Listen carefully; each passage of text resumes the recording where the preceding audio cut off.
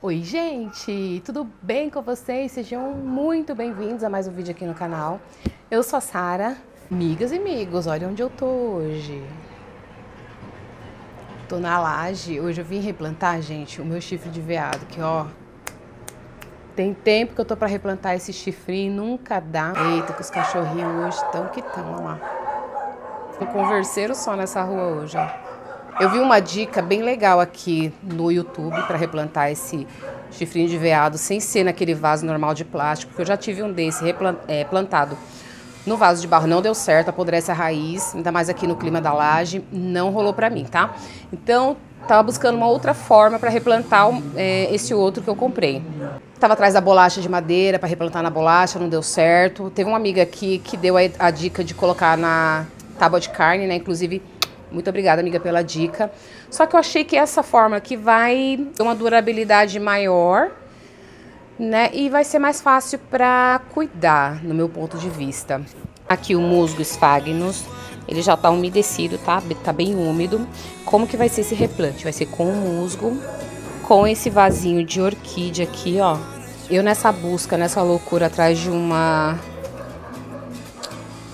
de uma bolacha de madeira, ele acabou desidratando um pouco, então depois eu vou borrifar, vou regar ele, né? O espárrago já tá bem úmido, vai umedecer essa parte da raiz dele. E depois eu vou borrifar um pouco de água. E o que que eu vou usar? Vou usar esse vaso aqui, ó, de orquídea. Poderia ser um maior? Poderia, mas como eu tenho esse daqui, por enquanto, vai ser esse daqui. O que que eu vou fazer? Aqui eu vou pegar um pouco do musgo, vou fazer uma caminha aqui no fundo. E eu quero mandar um beijo pra amiga Rosângela que falou, Sara, quando você for replantar seu chifre de veado, você me mostra. Tá aqui, amiga. Bora replantar esse chifrinho, né? Ó, aí eu vou colocar uma camada de casca de pinos.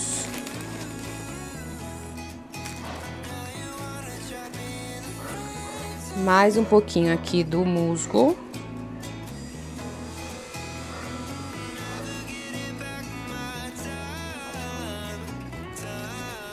Apertadinha. E agora eu vou colocar ele, ó, apoiado aqui dentro, ó. Se você tiver um vasinho maior, acho que vai ser melhor. Aí vou pegar um pedaço desse barbante. Precisar da tesoura. Ah, tá aqui.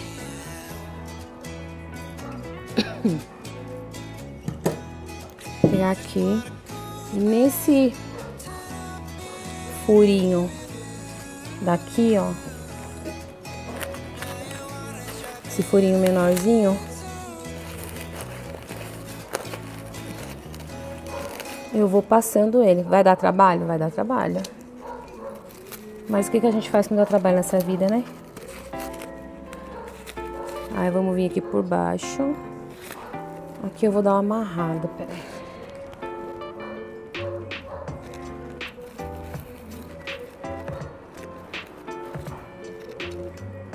Ficaria melhor com o barbante branco, né? Mas o barbante branco acabou. Esconde. Aí vamos dando voltinhas aqui, ó.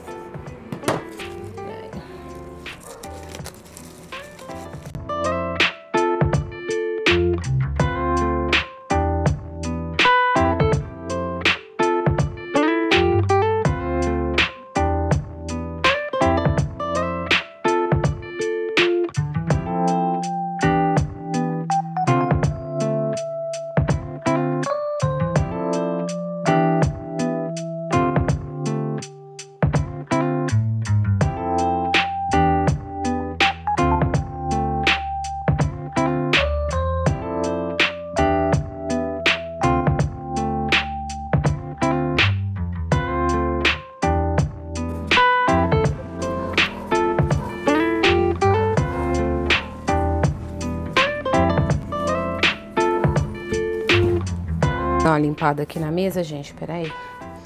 Eu já mostro pra vocês como ficou. ficou uma gracinha. Passei um arame aqui, ó. Daqui pra cá, pra esse buraquinho aqui atrás, ó. Pra pendurar ele assim, pra deixar ele assim, ó. oriento fazer isso antes, porque deu um trabalho para passar isso aqui.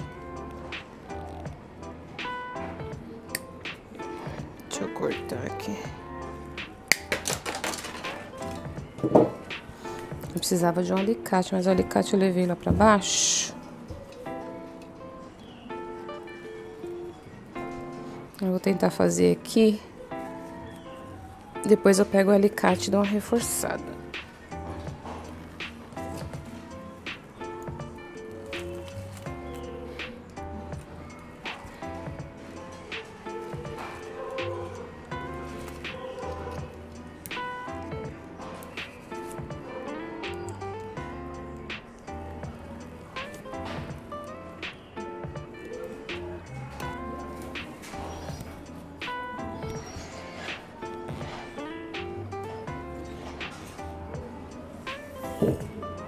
Ficou assim meu chifrinho, gente, plantado no vasinho de orquídeas.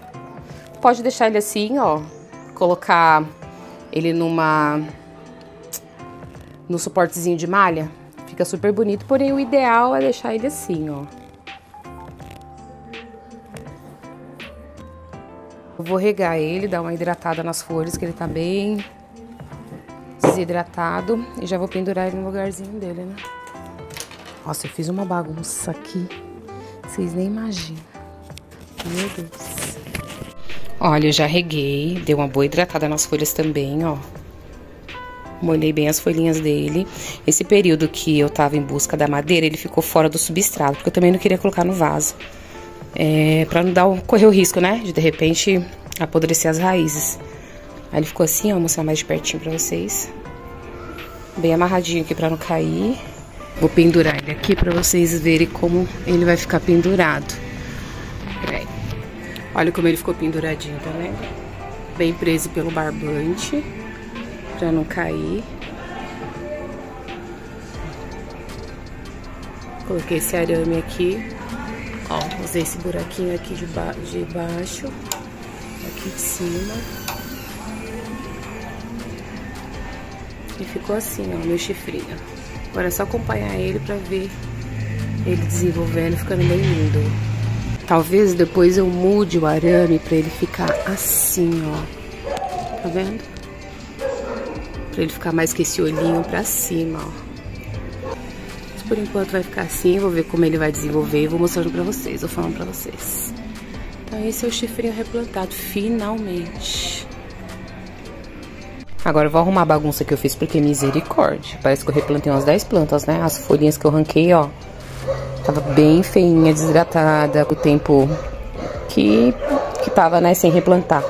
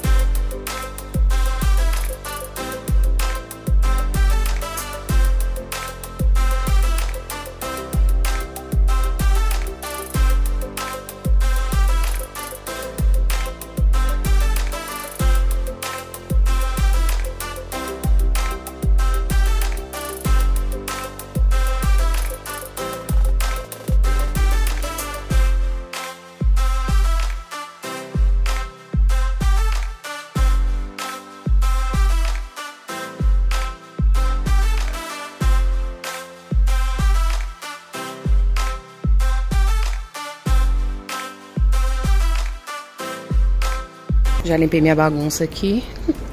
Gente, essa mesa aqui, sempre quando eu mostro, eu falo que rego, tem problema com, com os vasos, né? Que eu amo, amo esses vasos aqui em cima da mesa. Inclusive, quero até colocar mais. E até falei num vídeo atrás aí que eu falei, gente, dessa semana não vai passar, vou comprar o verniz pra passar nessa mesa, gente, mas eu não consigo, eu amo ela rústica, assim, o que que eu faço?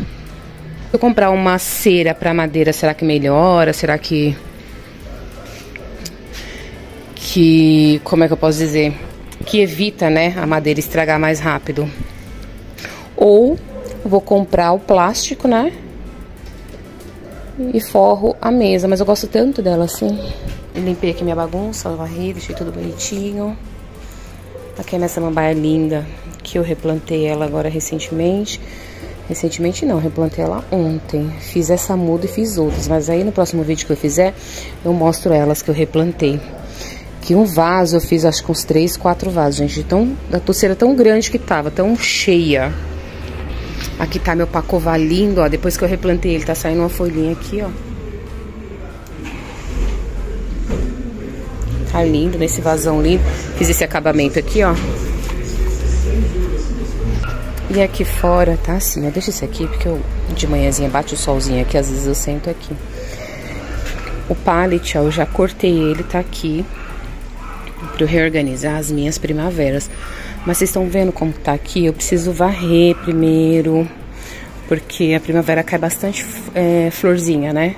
folhinha, então tá bem cheio ali por dentro, ó.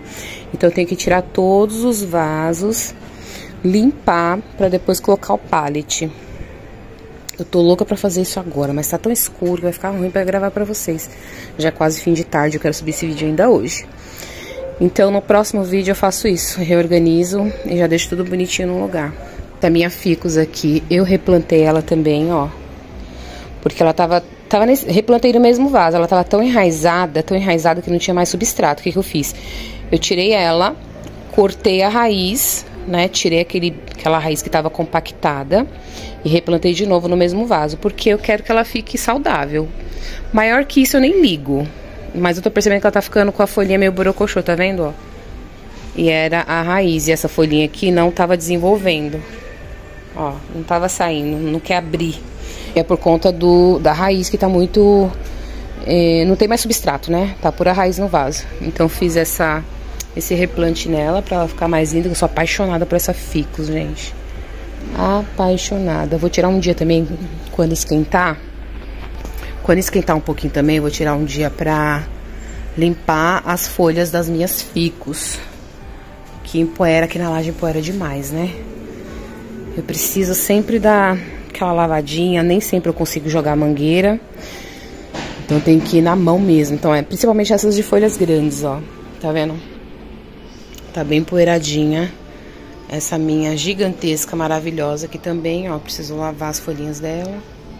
Esse meu pacovazinho aqui, ó, também replantei ele.